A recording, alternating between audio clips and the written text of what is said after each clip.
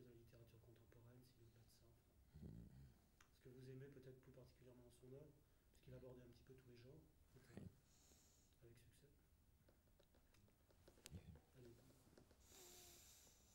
Ben, je crois que une des raisons de, il y a beaucoup de.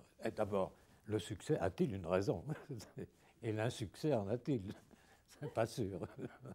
Mais enfin, si on peut. Après, on ne peut pas dire avant, mais après, on peut essayer euh, euh, d'analyser, de chercher les raisons d'un succès ou d'un insuccès.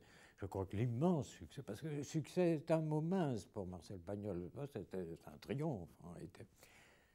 Mais une, des raisons, c'est que comme tous les grands écrivains, les grands cinéastes, les grands auteurs dramatiques, il a une vision du monde.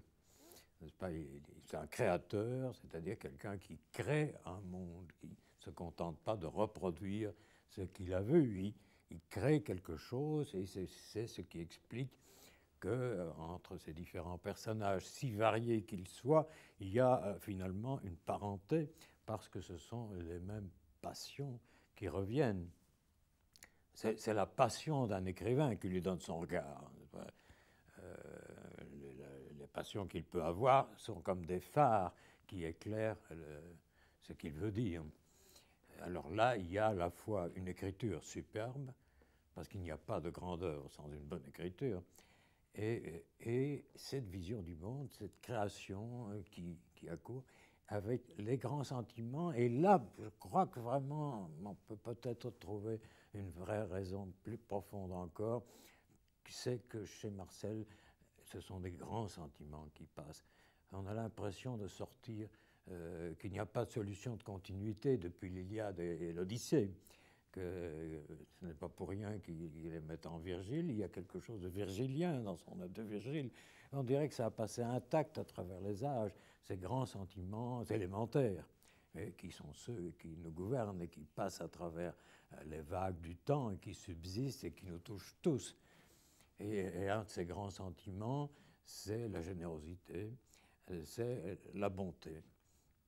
Il y a dans l'œuvre euh, de Marcel un immense courant de bonté.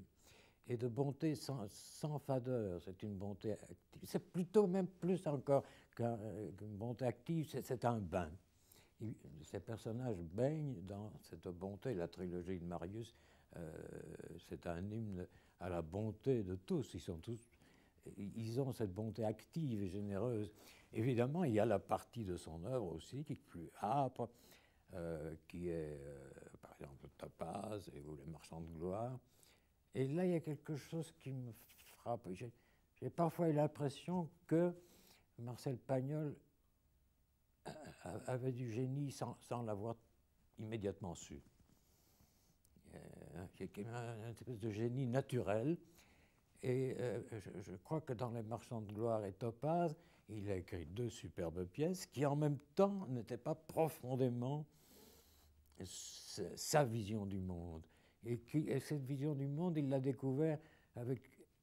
On dirait qu'il l'a découvert avec Marius, qu'il l'a découvert avec une modestie ça m'a beaucoup frappé qu'il avait pensé d'abord qu'il ne pouvait pas représenter Marius à Paris, que ça n'intéresserait pas.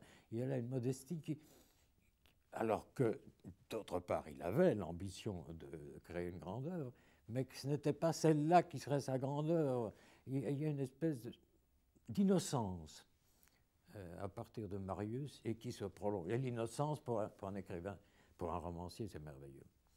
Pour un auteur de cinéma, pour un auteur dramatique, être innocent, euh, c'est extraordinaire. Et il y a cette merveilleuse innocence, cette aurore, euh, cette lumière diffuse qui passe dans toute son œuvre. Et, cette lumière diffuse, euh, quand c'est l'œuvre de Dieu, on l'appelle l'aurore, mais quand c'est l'œuvre de l'homme, ça s'appelle le génie. J'ai lu quelque part